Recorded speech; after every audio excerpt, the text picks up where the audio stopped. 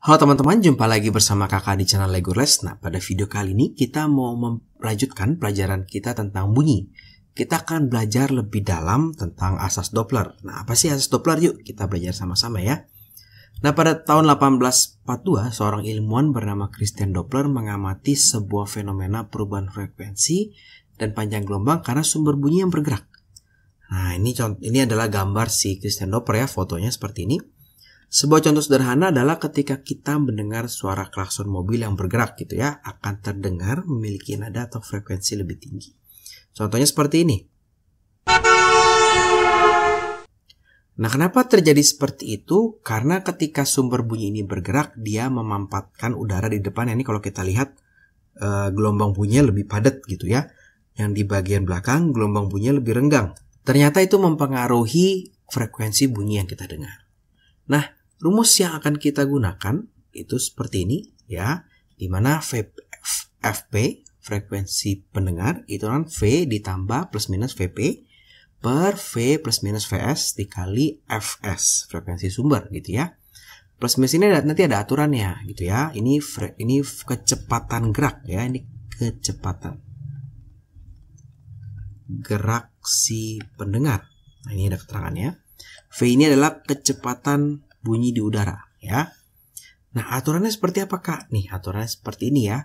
E, di mana kalau tandanya ini kan positif kalau pendengar mendekati sumber ya atau sumber menjauhi pendengar ini VP-nya positif ini VS-nya positif dia akan negatif kalau pendengar menjauhi sumber ini VP-nya akan negatif gitu ya kalau sumber mendekati pendengar ini VP-nya akan negatif Nah, gimana kak cara menghafalnya? Kalau kakak menghafalnya tuh yang ini nih. Nah, ini kakak menghafalnya yang ini nih. Pendengar mendekati sumber. Berarti ketika kita manusia mendekati Tuhan, kita akan menjadi positif. Ya, VP-nya positif.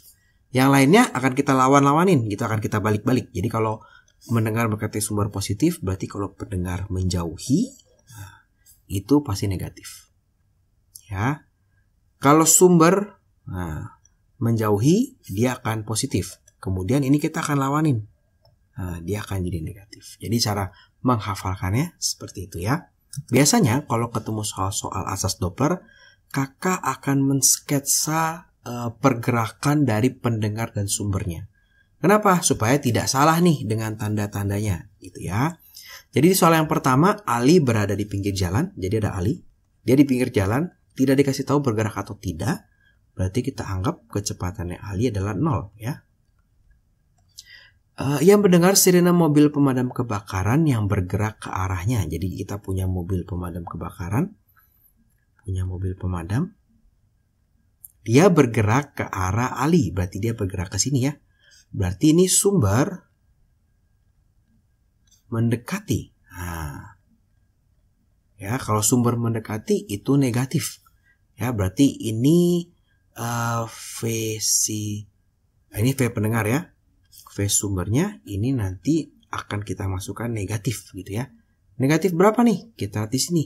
72 km per jam. Atau ini kalau diubah bisa menjadi 20 meter per second. Kita selalu mainnya meter per second. Gimana kak cara mengubah ini? Boleh lihat video gerak atau video besaran dan satuan ya. Nah eh Frekuensi sirenenya berarti frekuensi sumbernya itu 2160. Kecepatan bunyi di udara berarti V di udaranya itu adalah 340 meter per second. Ada dua pertanyaan. Yang pertama, mobil pemadam belum melewati Ali, berarti masih mendekat ya. Berarti masih mendekat nih. Nah, yang kedua, mobil pemadam telah melewati. Nanti yang telah melewati kita bikin terpisah gitu ya. Kita bikin yang A dulu belum melewati berarti dia masih mendekat ke arah Ali. Kita pakai rumusnya. FP sama dengan V plus minus VP per V plus minus VS dikali FS. V-nya 340. Nah, V sumbernya, eh, V pendengarnya itu 0 karena dia diam. Ya, V ini 340 juga. Nah, VS-nya sumbernya karena dia mendekati jadi minus 20 dikali Fs-nya 2160. Maka ini 340 dibagi 320 sama dengan 2160 eh dikali 2160. Jadi boleh disederhanakan menjadi 17 per 16 dikali 2160. Nanti ini hasilnya akan didapatkan sebesar 2295 Hz. Jadi terdengar lebih tinggi sedikit frekuensinya ya. Karena 17 per 16. Itu untuk yang A. Gimana sekarang kalau mobil pemadam kebakarannya sudah melewati ali gitu ya. Jadi kalau kita gambarkan berarti tadi mobil pemadamnya dari sebelah kanan. Berarti sekarang mobil pemadamnya sudah ada di sebelah kiri. Bergeraknya masih sama ke sini ya. Alinya di sini. Nah, alinya V-nya masih 0. V pendengaran masih 0. Nah, yang sedikit berbeda adalah V sumbernya. Ini masih 20, tapi kita mau tentukan plus atau minus. Kalau kita lihat dari posisi ini, tadi dia mendekati Ali, sekarang dia menjauhi. Maka kita pakainya positif. Ya. V udaranya masih sama nih, adalah sebesar 340. Berarti tinggal kita tulis rumusnya. Fp sama dengan V plus minus Vp per V plus minus Vs dikali Fs. Frekuensi yang didengar pendengar, V-nya adalah 340 tambah 0, tidak kakak tulis, berarti ini 340 ditambah 20 dikali 2160. Ini adalah 340 dibagi 360 dikali 2160. Ini kalau disederhanakan menjadi 17 per 18 dikali 2160. Ini kalau dihitung nanti hasilnya adalah 2040 Hz. Ya, jadi ketika menjauh terdengar lebih rendah, ketika mendekat terdengar lebih tinggi. Itu soal pertama si alinya diam. Sekarang kita coba soal yang kedua. Di soal yang kedua ini ada sebuah ambulan membunyikan sirene dengan frekuensi 1860 Hz ya, bergerak dengan kecepatan 72 km per jam. Ambulan akan berpapasan. Nah, ini penting ya berpapasan. Artinya ketika si ambulan bergerak, misalnya ambulan bergerak ke sini, dia akan berpapasan dengan mobil sedan ya, bergerak ke sini. Nah, ini adalah sumbernya sedan ini adalah pendengarnya ya. Ini si pendengar, si mobil sedan. Punya kecepatan, ini kecepatannya 72 km per jam. Nah, ini bisa berubah menjadi 20 meter per second ya. Si mobil sedan kecepatannya, nah ini V-nya si sumber itu adalah 54 km per jam atau ini adalah 15 meter per second. Nah pada kondisi pertama ini mereka saling berpapasan ya, berarti saling mendekat. Atau kita bisa tulis di sini kalau si sumber ya sumber ini mendekat ya Tadi kalau sumber mendekat, maka VS-nya akan menjadi negatif. Yang di sini berarti ini pendengar, berarti ini pendengar ini mendekat, ya. Kalau pendengar mendekat, maka VP-nya akan menjadi uh, positif, ya. Tinggal kita masukin rumus nih. Berarti FP sama dengan V plus minus VP per V plus minus VS dikali Fs ya. Frekuensi didengar pendengar, V-nya itu adalah 330 kecepatan udaranya 330 VP-nya plus 15 per 330 dikurang 20 dikali 1860. Ya, ini adalah 345 dibagi 310 dikali 1860.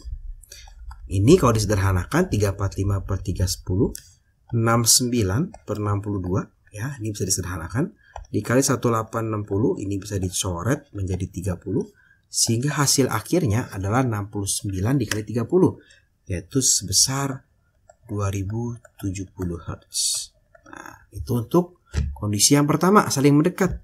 Nah sudah berpapasan mereka pastinya saling menjauh dong ya. Jadi sekarang posisi pendengarnya mobil sedannya ada di sebelah sini masih bergerak ke sini ya. Dengan VP itu adalah berapa tadi? 15 di sini sekarang si polisinya nah, bergerak ke sini ya si, si polisi si ambulans dengan V sumber itu sama 20 cuma sekarang kita mau menentukan positif dan negatifnya Kalau kita lihat di sini sekarang saling menjauh nih, berarti ini pendengar menjauhi sumber, berarti negatif ya. Di sini sumber menjauhi pendengar, berarti ini juga negatif. Oke. Nah, eh, eh ini positif, menjauhi pendengar dia positif, sumber menjauhi pendengar. Kita tinggal masukkan rumus yang ini lagi. Ya, di mana FP nah, sama dengan V plus minus VP per V plus minus VS dikali FS.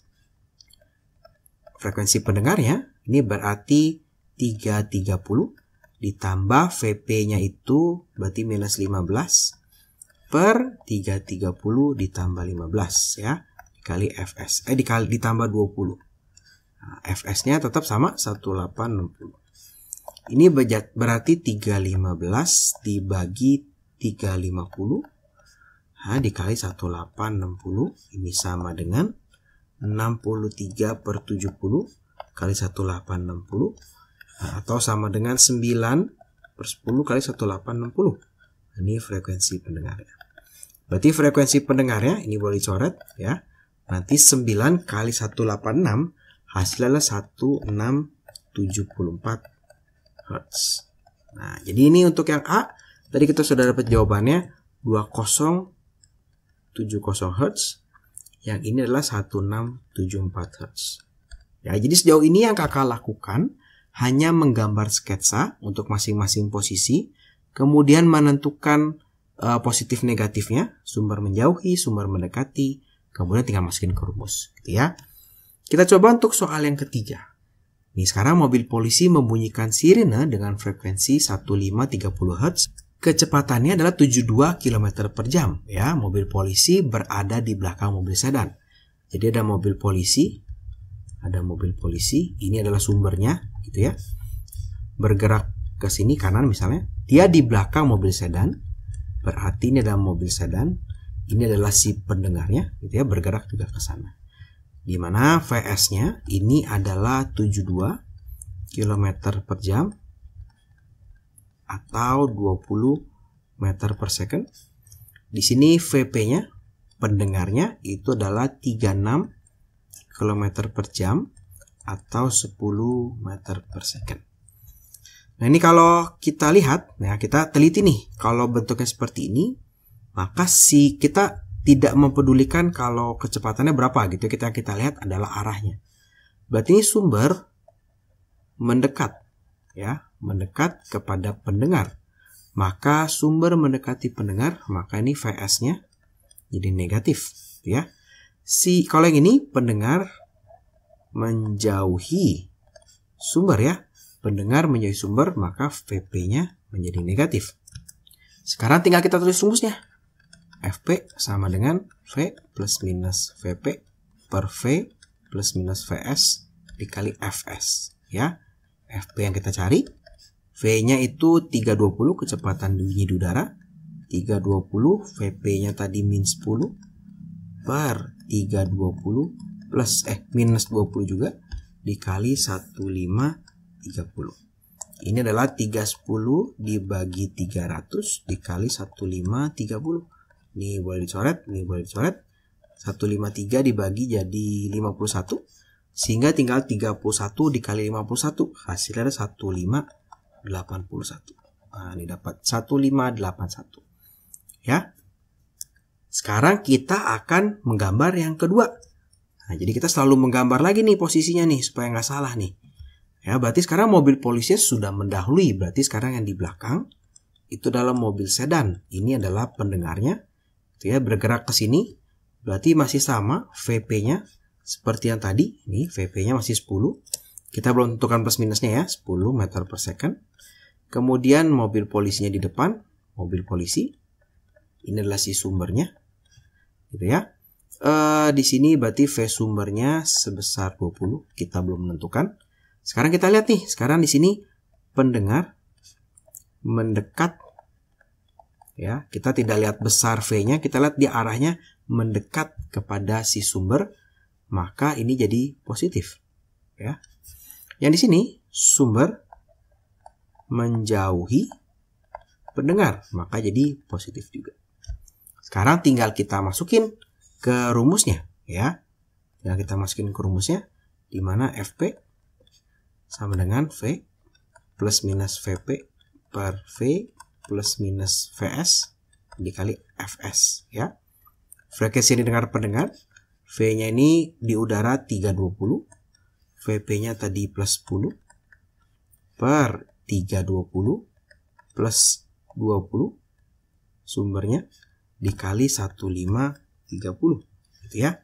Ini jadinya 330 per 340 dikali 1530 bisa dicoret.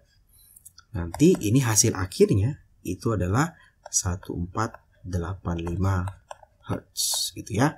Ini adalah hasil akhirnya. Ini bisa dibagi dua, nanti bisa disederhanakan dan sebagainya. Jadi kalau sebelum polisi mendahului, kita dapat ini yang didengar ya, didengar oleh si sedan itu adalah tadi berapa? 1581. 1581 Hz. Sesudah polisi mendahului yang didengar, nah itu adalah 1485 Hz. Nah, itu untuk soal yang ketiga. Ya, jadi kakak mencoba mencontohkan arah yang berbeda-beda. Tapi tetap prinsipnya sama. Kita membuat sketsa, kita tentukan dulu arahnya. Ya. Ini sekarang soal yang keempat, soal yang terakhir. Sebuah mobil polisi dengan kecepatan 30 meter per second sedang mengejar seorang penjahat yang kabur dengan kecepatan motor 20 meter per second. Artinya si polisi pasti di belakang ya. Ini kita punya polisi, kita punya mobil polisi, dia sebagai sumber bunyi di mana VS-nya itu adalah 30 meter per second. Di depannya ada motor penjahat, bukan penjahit ya, penjahat. Ini adalah si pendengar, di mana V pendengarnya atau kecepatan gerak si pendengarnya 20 meter per second. Nah, sekarang kita akan teliti ya tandanya. Kita teliti terlebih dahulu tandanya. Nah, ini kalau kita lihat, berarti ini sumber mendekat ke pendengar. Berarti dia negatif. Yang di sini pendengar menjauhi sumber. Berarti dia negatif juga. Nah, sekarang tinggal kita hitung aja nih, ya. Oh, ternyata sekarang yang dikasih tahu adalah VP, ya. Uh, eh, FP, FP, ya. Uh, si mobil sirine polisi ini yang didengar oleh penjahat yang didengar oleh penjahat ya frekuensinya 1767 berarti kita tahu FP-nya 1767 ya ditanya adalah frekuensi sumbernya berapa nih dengan kecepatan bunyi di udara itu adalah 330 meter per second tinggal kita tulis saja rumusnya berarti FP sama dengan V plus minus VP per V plus minus VS dikali frekuensi sumber. Yang didengar oleh pendengar atau si penjahat 1767 sama dengan V di udara 330. VP-nya tadi minus 20 per 330 minus berapa nih? 30 tadi ya kecepatan si sumbernya dikali frekuensi sumber. Berarti 1767 sama dengan 310 dibagi 300 bisa dicoret dikali Fs. Sehingga Fs-nya itu adalah 1767 dibagi ya, dibagi 31 per 30 berarti dikali 30 per 31. Nah ini bisa dicoret. Jadi 57. Nah tinggal 57 dikali 30. Hasilnya itu adalah 1710 Hz. Nah, jadi ternyata mobil polisi ini mengeluarkan sirene dengan frekuensi 1000 10 Hz. Nah, jadi seperti itu untuk asas Doppler yang penting kita menggambar sketsanya, menggambar arah gerak dari sumber dan pendengar, menentukan tanda positif negatif, tinggal masukin ke dalam rumus. Terima kasih buat teman-teman yang sudah menonton video ini. Selamat belajar. Kalau teman-teman merasa video yang bermanfaat, ayo dibagikan kepada teman-teman yang lain, di-share di WhatsApp, di Line ya. Juga like videonya, subscribe channel Legurles, juga follow Instagramnya Legurles.